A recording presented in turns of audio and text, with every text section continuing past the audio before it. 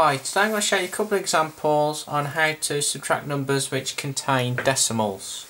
So let's have a look at example 1 then. So we've got 8.27 minus 2.65. So first of all insert the numbers into the correct columns. So we have 8 units, we have 2 tenths and 7 hundredths and we're subtracting 2.65 so that's 2 units six tenths and five hundredths. So just need to work this out now. So if we start on the right hand side, 7 take away 5 is 2.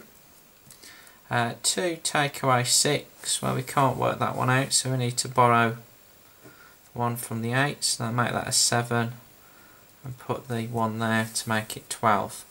So now we can work out 12 take away 6, which is 6.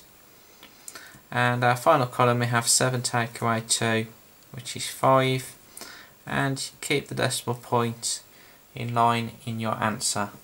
So our final answer is 5.62. So let's move on to example 2 then. So this time we have 17 take away 3.41.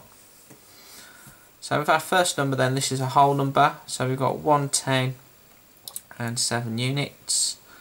And our second number, we've got 3 units, 4 tenths and 1 hundredth.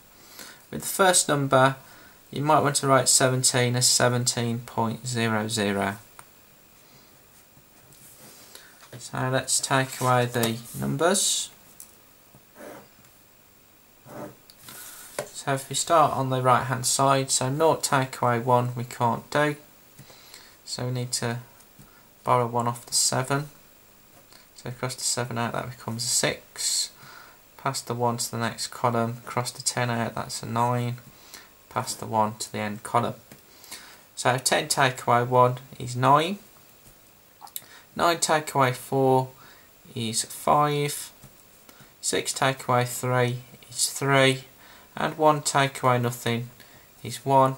Again the decimal point will stay in line in your answer. So our final answer is 13.59. Thanks for watching.